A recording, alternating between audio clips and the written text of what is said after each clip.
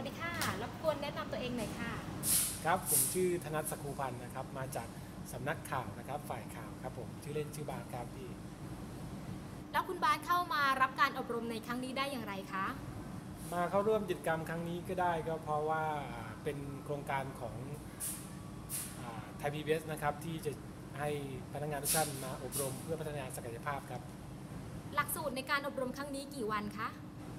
หลักสูตรในการอบรมครั้งนี้ก็มีทั้งหมด 5 วัน 4 หลักสูตรนะครับผม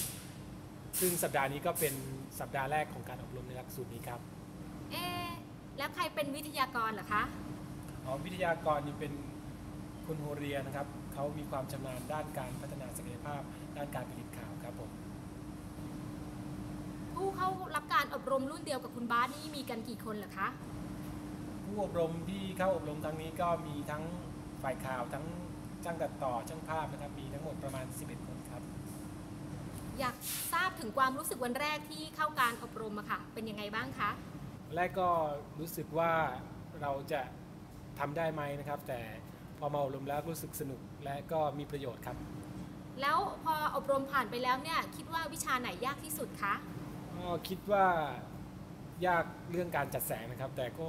ทำได้ไม่มีปัญหาครับเพราะเพื่อนๆทุกคนช่วยกันถามคำถามจะได้คำตอบครับ ในส่วนที่ชอบล่ะคะ ชอบวิชาไหนคะรู้สึกชอบในการผลิตข่าวนะครับ เรื่องของใช้ iPad ในการบันทึกภาพและตัดต่อนะครับคิดว่ามันรวดเร็วดีครับ มาถึงวันนี้แล้ว 5 วันแล้ว รู้สึกยังไงบ้างคะสำหรับหลักสูตรที่ผ่านมา 5 วันแล้วรู้สึกสนุกนะครับ ผมเพื่อนๆพี่ๆทุกคนก็รู้สึกสนุกไปกับการอบรมนะครับ คำถามสุดท้ายนะคะ อยากให้ฝากถึงผู้ที่จะเข้ารับการอบรมในรุ่นต่อไปหน่อยค่ะ อยากฝากถึงพี่ๆที่จะเข้ามารับการอบรมในรุ่นต่อไปนะครับ ให้เตรียมตัวเพียงแค่ความอยากที่จะเรียนมาก็พอครับ